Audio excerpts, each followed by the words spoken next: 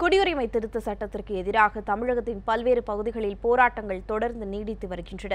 தேனி மாவட்டத்தில் போராட்டத்தில் ஈடுபட்டுள்ள இஸ்லாமிய அமைப்பினரிடம் துணை முதலமைச்சர் ஓ. பன்னீர்செல்வம் நேற்று பேச்சுவார்த்தை நடத்தினார்.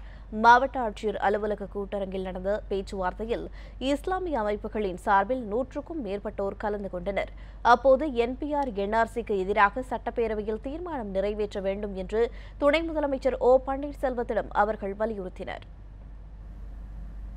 புதுக்கோட்டை மாவட்டம் அறந்தாங்கி அருகே கட்டுமாவடியில் பதினான்காம் நாளாக தொடர் போராட்டம் நடைபெற்று வருகிறது. நேற்று நடைபெற்ற போராட்டத்தில் ராமநாதபுரம் தொகுதி நாடாளுமன்ற உறுப்பினர் நவாஸ் கனி கலந்து கொண்டு வாழ்த்தி பேசினார்.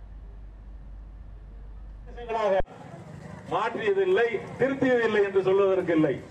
மக்கள் எதிர்க்கக்கூடிய மக்களுடைய உணர்வுகளுக்கு மதிப்பளித்து பல்வேறு சட்டங்கள் திருத்தப்பட்டிருக்கின்றது. பாராளுமன்றத்தில் இயற்றப்பட்ட சட்டங்கள். அதுதான் ஜனநாயகம். இதேபோல புதுக்கோட்டை மாவட்டம் அம்மா பட்டினத்தில் தொடர்ந்து இருபத்தெட்டாவது நாளாக போராட்டம் நீடித்து வருகிறது. போராட்டத்தில் ஈடுபட்டவர்கள் குடியுரிமை சட்டத்தை ரத்து செய்ய கோரி சட்ட நகலை பாடை கட்டி தூக்கிச் சென்று புதைத்தனர்.